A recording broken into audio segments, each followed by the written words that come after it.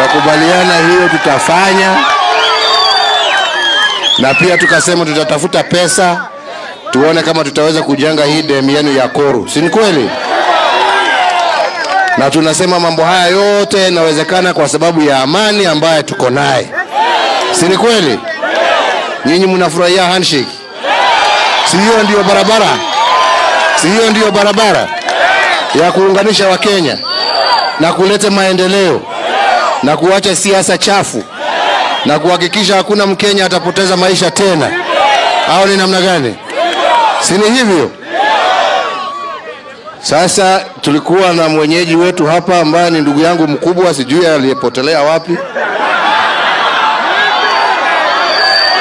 Ako mbele ama uko nyuma eh?